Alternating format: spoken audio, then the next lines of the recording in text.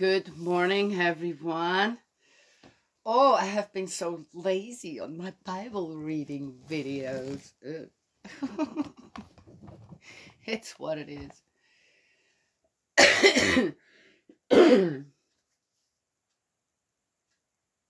I rarely do anything that I have to do and I don't want to do it. Okay. Somehow the timing's always right and things just fall into place. But there's something I wanted to share this morning first before I start reading.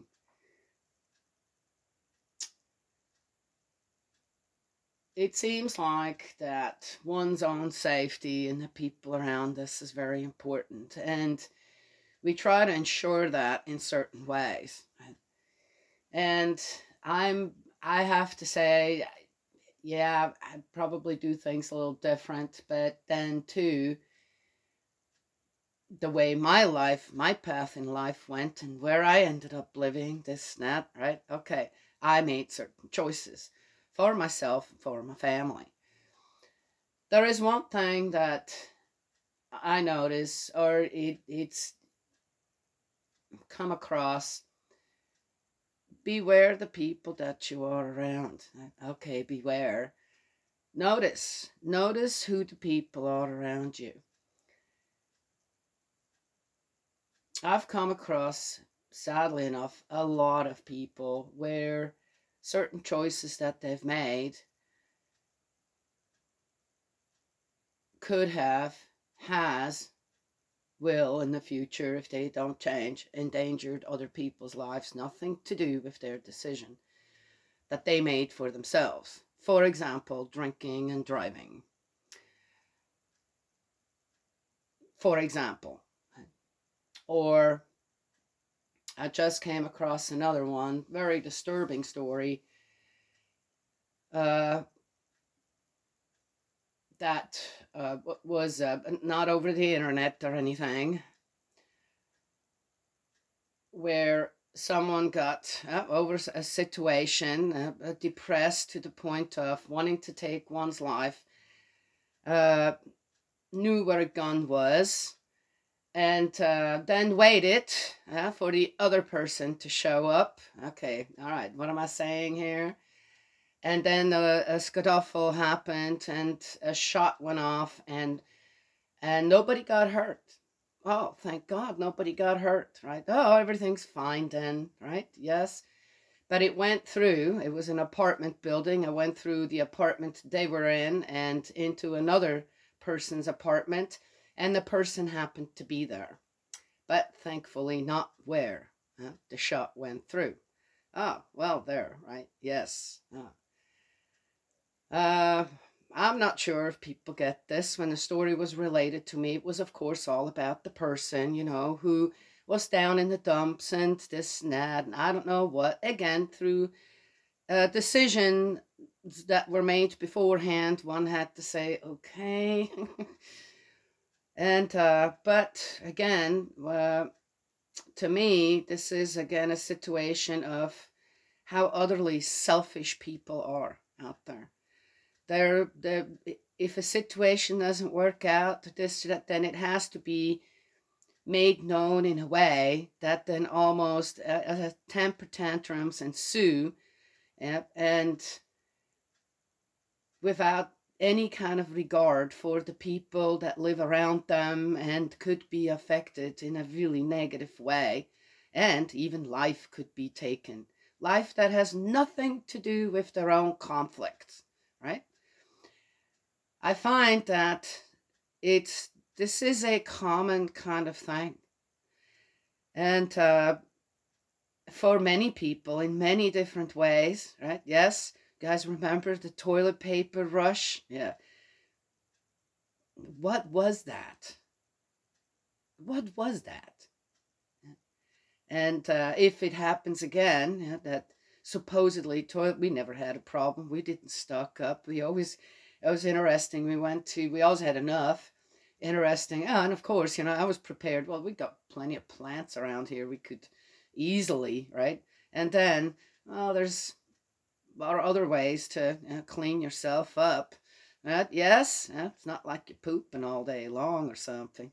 Well, anyway. and so uh, I remember we went to uh, Walmart during those times one time. And we did need some. Not much, we just needed some. And of course, the shelves were empty except for all the way in the back. And uh, there was some of the really expensive stuff, okay? All the way in the back, there was a, what was it, the last six or eight pack or something. And I said to my sister, I said, look, it's waiting for us. so, uh, you know, so we got one. Nobody fought us for it or anything like that. it happened with other things the same way, you know, where some things were just, okay, it's not there, you know, then I look and I move things. Oh, look, there's one more, right? Yeah, happened with yeast because I like to bake. Uh, so, anywho, uh, and uh, no doubt if, uh, if somebody would have come up to me and said, Oh, I really needed that, I would have given it to them. I'm not like that. I'm just not. I'm going, well, okay, I guess I. And by the way, I, I've learned from a nephew of mine. I learned how to make my own yeast. Yeast can be made with uh, sugar and water and I think a little milk.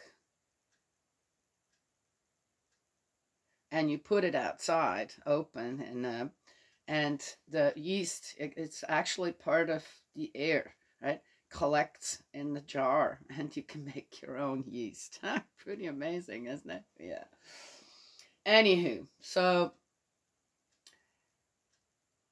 I had to tell the person who told me the story who's very close to that other person who now just, again, the mindset of that person, first of all, the cops did show up and they just thought everything was, well, no, it was just a, you know, well, well, this isn't just a, you know, and uh, oh, we're all surprised when one went to jail, well, not for long, and then uh, uh, now awaiting trial, but thinking uh, it's a felony. This was a felony, okay? And they're thinking, well, uh, everything will be just fine. I'm going, man, you, you just don't know, do you? You don't know the law. You have no idea what's going to come towards you, having done that. And Instead of the person reflecting and repenting over what happened, right, they want to try to find excuses and even get upset over, well, nothing happened. Yes? Okay. Hmm. It's an interesting one. And us on how people are acting out there. So I had to give the advice to the person be careful when you're around that person. I probably would say, I'll meet you somewhere outside in a cafe from now on or a restaurant to have, or at the dog park to have some give and take with you, but you're not coming back to my house because I have children at my house. And you can't be around people like that. You can't have people like that around your children. Because if they're that careless huh, with people's lives, you think they're going to care about your children or even you. Oh, but that is, no, that's how you teach people. If that person realizes that with her behavior, uh, that she's losing all her friends, or her friends are, okay, well, unless I see a change in you and you really repent for what you did, and acknowledge the consequences huh, and restore that, then that's one thing. But uh, if on top of that, then there seems to be no repentance going on over it, huh? this that selfish type of way of thinking. It's all about me. It's all about me and my feelings. It's all about me and what I want. Not, not what I need, what I want then uh, you have to distance yourself from people like that. That's how you keep yourself safe and your family safe and your surroundings safe. And uh, if that happens to people where suddenly they realize, oh, well, well, yeah, first they're going to be upset. Oh, so you don't want to be my friend anymore. Da, da, da, da. It's not, not, it's not that. I'm going to have to see first improvement. I'm happy and willing to help you with that improvement, but not in my environment where you could endanger everyone around me, myself, me, and uh, and that's not going to happen. And then maybe people will start to realize the ones that are doing all these things, how selfish to go into a store and just steal whatever because there are laws out there now that will not convict you. How selfish is that? And again, how dangerous is that for the people that go into the store with people like that around? Yeah, how long is it going to take until knives and guns and I don't know will be applied uh, so that greater quantities can be uh, removed from a store uninterrupted? Mm-hmm. What if a child suddenly gets in between there? Uh, yes, and accident accidentally, selfishly gets killed, hurt by one of these people. So, again, what did I say? How do you protect your environment? Be aware who you've got around you. Watch their behavior. And when there are certain things that you have to say, yeah, something bad could happen here because of that selfish, selfish thinking, selfish behavior of that person, then you eliminate them out of your life. Not completely, that's it. It says, you know, no, I'm not coming to your house because nobody, who knows what's going to happen there someday. But I'll meet you, oh, you know, in an open space somewhere. Because people like that, they'll still behave more or less properly in an open space. Okay, except for, right? What did I mention about the thieving? What about the riots and all that? Who does that? Huh? Who does that? Then somehow we have to protect ourselves against people like that.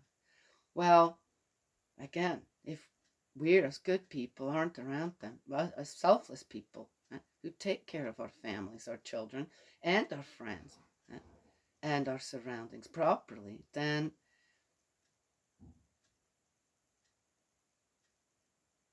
we need to remove ourselves. Either they have to be removed and just say, yeah, I can't be friends with you anymore for right now until you figure out yeah, what you did wrong and not keep making excuses or use me as your crutch. Uh, that then all I'm doing is enabling you to keep uh, keep it up, right? That selfish behavior. So it starts in our children too. If you have a bully as a kid, most likely you were one, uh, and that's right there. It starts right there. Bullies. Why would why are children bullies? Why do children hurt other children like that? Huh? Saying mean things about how they're dressed or what their background is or this or that. Huh? Yes? Yeah. It's, uh, and on how adults can be bullies to other adults in certain ways, making you feel bad when you say, you can't come around here anymore well, what, why is that? You know, well, because your behavior isn't, you need to learn to be a little more selfless and not so selfish. And, uh, you know, when, when it is safe to be around you, when you have learned that lesson, then you're welcome again. Oh, but that is, no, it's not. What if everybody were to do that? That would be a lesson for the people out there, behaving in such a loose way that then, eh, you never know, you live in an apartment building, you never know if you're going to get shot from another apartment building because a shot goes loose on a gun. Huh? Yes? Just saying. So, we don't have to apply violence eh, to let people like that know. Eh, you can't do that. That's not right. You stick you stand by keeping your environment as safe as you can by not allowing people like that to be around. Hmm? And teach them that lesson of, yeah, but then they could, well, that's not my problem. That is their problem. Number one, the place that I need to protect is my place. The person I protect is me and my children and my grandchildren and the people around me that are also selfless. oh, but that's selfish. That's not selfish. That is in a peaceful way, in many ways, just having a talk with a person. And uh, no, I, I definitely gave the advice to the other one uh, that has children. This, that's, you can't have that person in your house anymore. You're asking for it then, because now you know. I said, doesn't mean that you can't, as I said, got the cell phone stuff going, right? Yes, you can safely have a conversation without having to worry, right? And maybe uh, that friend, that good friend, can teach that very selfish friend as something uh, by having some conversations. But as far as also making it clear to the other person, you can't come around uh, physically anymore. That's one way to do it peacefully, yet still be there. Yes, well, just saying.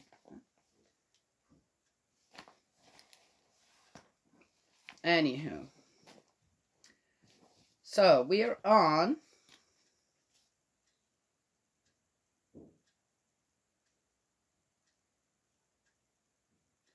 Fifty. We are on 50 in Genesis. Let's see what it has to give us. Jacob's funeral. At this, Joseph threw himself on his father's face, covering it with tears and kisses. Then Joseph ordered the doctors, oh, they had doctors, in his service to embalm his father. Oh, they're still in Egypt. That's right, that's right. The doctors embalmed Israel, and it took them 40 days, for embalming takes 40 days to complete. 40 days? Well, tell you what, Jacob's got to be around somewhere, just like them Egyptian pharaohs. Oh, did they find him?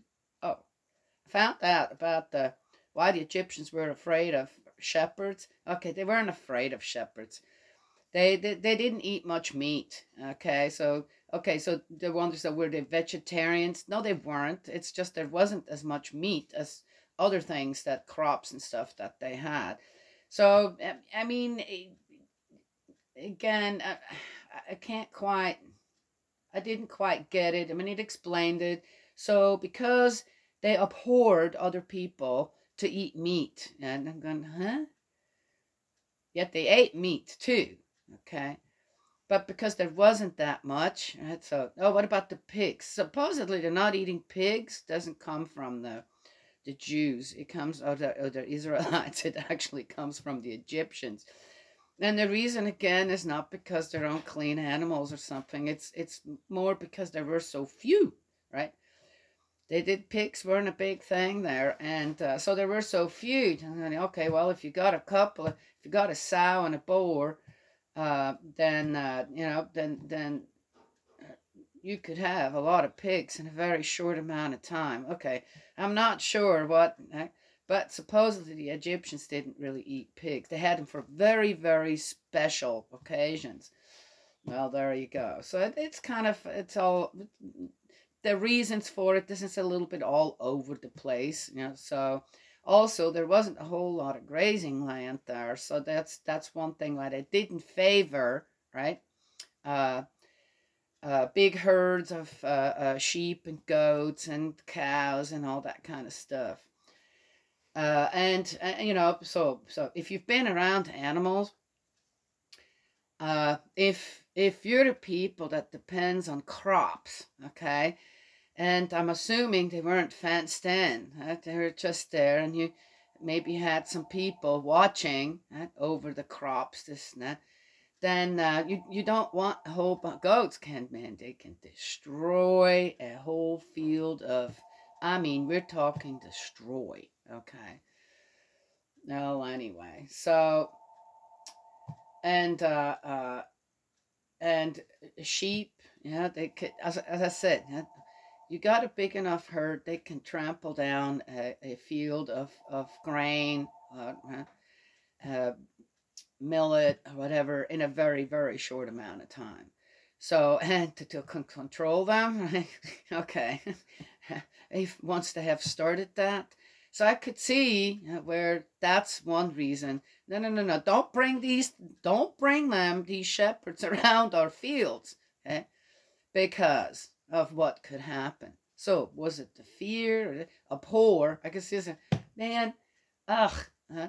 So pigs, oh my gosh, pigs can if they would if they get into your garden you can kiss your garden goodbye so i could see uh, the reasoning for man we don't want them around here put them somewhere where we don't have to worry about what we're growing okay especially at a time where there is already very little so is it yeah anyway so again it's, it's almost like then that other part that passage make a big old uh, elephant out of a mouse when it comes down to it. Like, you know, oh, you know, they're afraid. The Egyptians are afraid of the shepherds. No, they probably were a little leery and irritated over them being there because. Right? Yes? All right.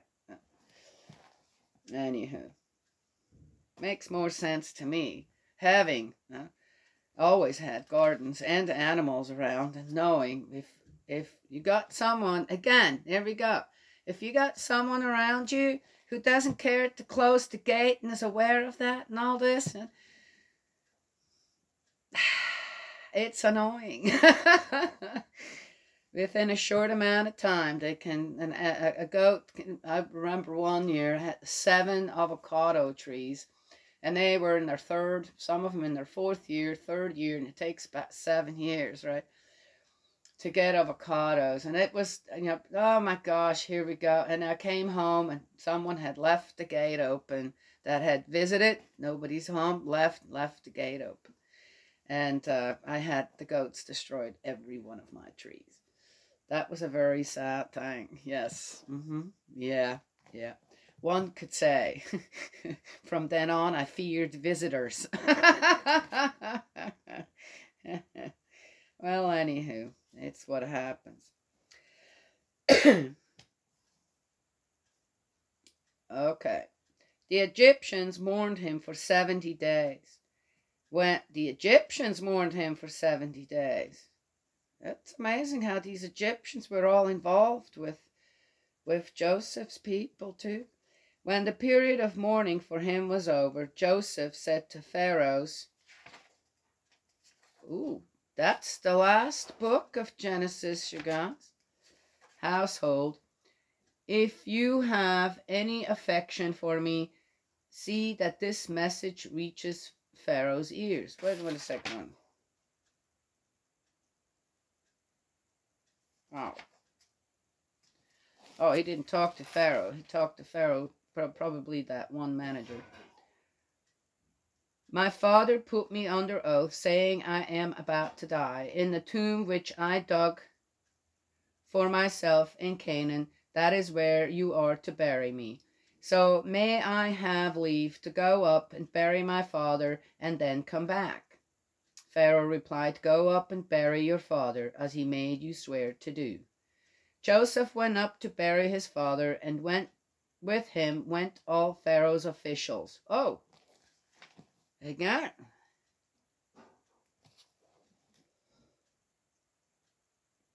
The dignitaries of his palace and all the dignitaries of Egypt, as well as Joseph's family, his brothers, and his father's family.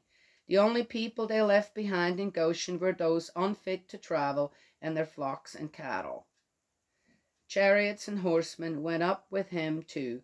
It was a very large retinue. Wow. On arriving at Goren ha-Atad, which is across the Jordan, they there held a long and solemn lamentation, and Joseph observed seven days mourning for his father. Wow, by now he's been dead for what, three months? Oh, they sure take a long time to bury someone. When the Canaanites, the local inhabitants, witnessed the mourning at Goren ha-Atad, they said, this is a solemn act of mourning by the Egyptians, which is why they, the place was given the name Abel Mizraim. It is across the Jordan. Oh. His sons did what he had ordered them to do for him. His sons carried him to Canaan and buried him in the cave in the field at Machpelah, Machpelah, facing Mamre, which Abram had bought from Ephron the Hittite as a burial site of his own. Oh, so that's kind of become the family graveyard. Then Joseph returned to Egypt with his brothers and all those who had come up with him to bury his father. So they went and they let and they went back. Hmm.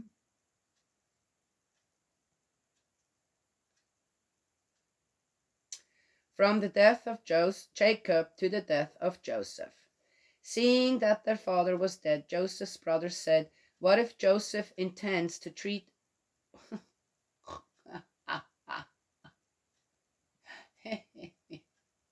Bring something else to mind.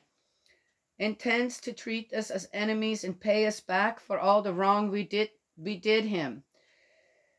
You know, people are only worried about things like that, right? When okay, here's Joseph. Joseph has been so selfless about anything and everything is done, not just for his own people, his own family, but the whole country, and then for another whole tribe, right? Then he followed to the letter, right? What what his father wanted, uh, and had the Pharaoh's consent. And this not only that, but the support of the Pharaoh. This because of the kind of person that he was, right? Yes. So and here, oh, Daddy dead. Oops. Yeah, maybe Joseph will turn now on them. What do you think? Do you know your friends well enough? Do you know your family members well enough? Do you know which ones will turn on you? Do you know which ones are true to you? Huh? Yes? Okay. And how do you treat the ones huh, that are good and fair to you? How do you? Huh? Yeah? Oh, okay.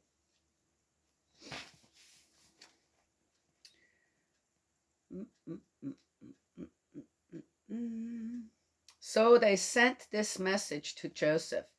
Before your father died, he gave us this order. You are to say to Joseph, Now please forgive the crime and faults of your brothers and all the wrong they did you. So now please forgive the crime of the servants of your father's God. Joseph wept at the message they sent to him. Oh. Oh. Uh-huh. I wonder why he cried. And did they lie? Well, it doesn't matter, right? Again, uh, would you have, even without the message? I don't know. I wasn't around Joseph, but from the story, sounds like this was a really amazing dude. Then his brothers went to him themselves, and throwing themselves at his feet, said, Take us as your slaves. But Joseph replied, Do not be afraid. Is it for me to put myself in God's place? The evil you planned to do me has, by God's design, been turned to good, to bring about the pre present result, the survival of a numerous people. So there is no need to be afraid. I shall provide for you and your descendants. In this way, he reassured them by speaking affectionately to them. Well, there you go. And uh, Joseph said, Look, yeah, that was a bad thing you did, but God managed to make something good out of it. Really good. And, of course, he could make something good out of it because of what? Because Joseph was such a good man, a selfless man, a righteous man. And he loved God, and he knew, I'll put myself above God, judge you. Are you kidding me?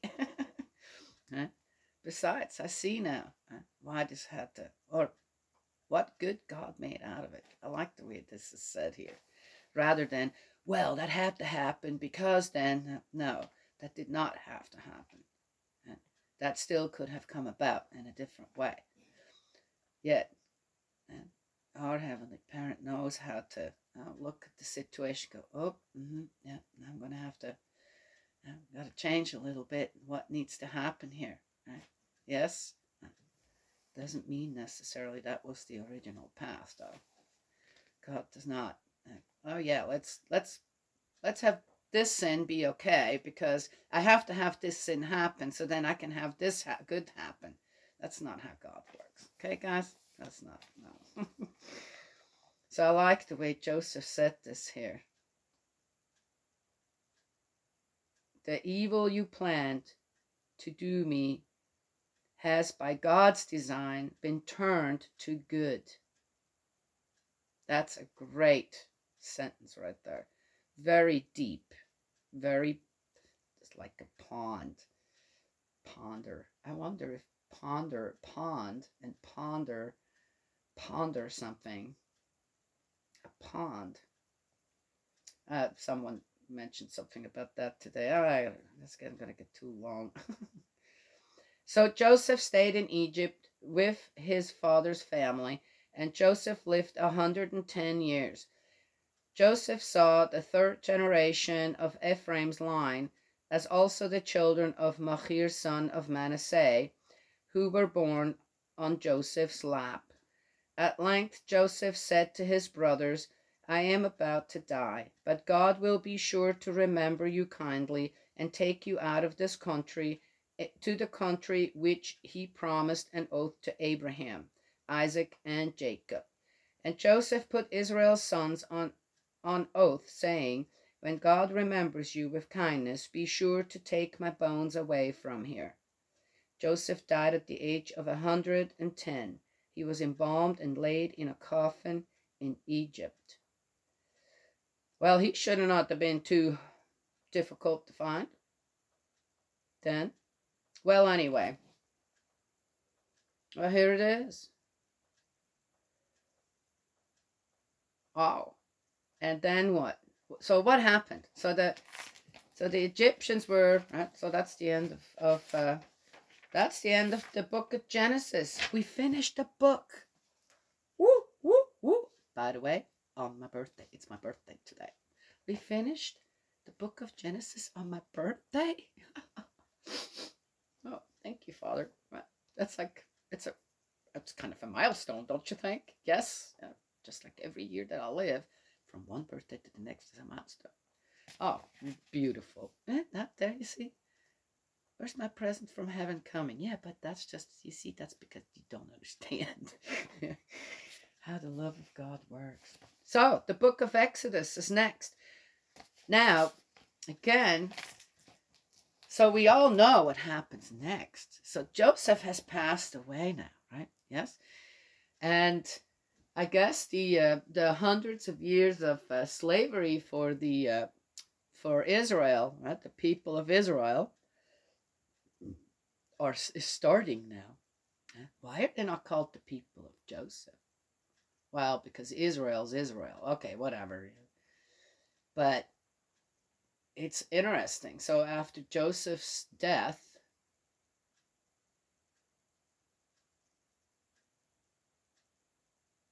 I wonder what happened. Yes, I don't think it'll tell us. But again, because of the that that would explain why the uh, the people of Israel, the Israelites, ended up for so long in Egypt. So it, there is some continuation of the story, I guess, through the books. We'll find out more about that. And, and uh, then some about some misconceptions, like with the uh, the Egyptians. Were they really afraid of the shepherds? No, no, mm -mm. it most likely was. Ah, we don't need these herds of animals amongst us, right? Because of the way they grew food. They ate very little meat. They ate more grains and vegetables and stuff like that. no, it's no. Everyone, it's their own, its own. And uh, since uh, the uh, Israelites were the ones that came, that Joseph brought there, then of course the guests should do it. Should do what? Oh, wait. But, uh, of course, as the host, the guests are what? But as a guest, uh, you should be what to the host? you see the give and take? But if either one knows their place, it's going to be peaceful and harmonious. Eh? The only time that doesn't work out if when you suddenly have selfish people around you yeah, who think that you're the one only who has to abide by the rules and they get to do whatever, eh? regardless. Eh? You see? Yeah? Okay. Well, people like that can be taught, like uh, I do here. I cook, and if I have people that come here don't eat meat, it's like, huh, okay, that's too bad for you.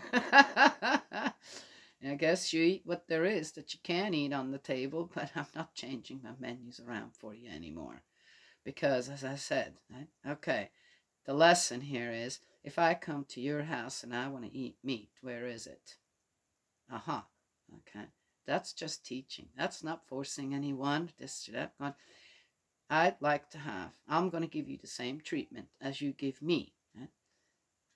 Plus the lesson that needs to go with it. Right? I've bent over backwards before to make sure that eh, that uh, people have certain preferences for food, this or that, or that. No, I can't do that. That's no big deal. But then suddenly I had people here in the house were trying to tell me, and I'm going, looking at them going, whoa, wait a minute, you just really, really badly overstepped the line here of respect. Okay, respect and acknowledging too on how uh, I have served you.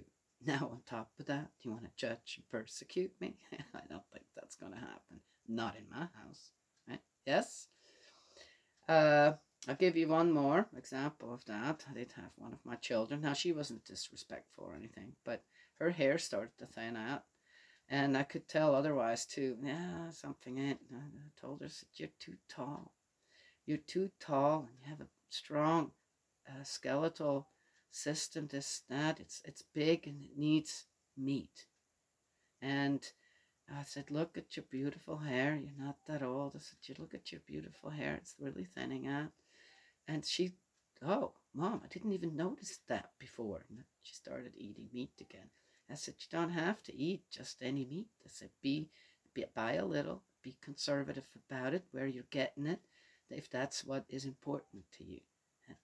So, Mama had to give huh, one of her children a little bit of a science lesson, number one, you know, and then on how, rather than suddenly just be against something that doesn't make any sense, and then uh, kind of letting others know on how they do. Okay, she did, she did not really do that, but I could tell that her health wasn't so good anymore, and uh, had to, uh, and then, you know, where she can be still comfortable on doing, uh, on, on, on the way she wants to eat meat and support her in that. Great, isn't it? Aha, right there, right? Yes? Uh, anywho. Alrighty, well, there we go. That was my uh, Bible reading this morning. Haven't done one in a while, and I feel like this one just went absolutely super and great. Ooh, thank you, Father. Thank you, Spirit World. God's love and blessings always. May He protect you, and I will talk to you another time.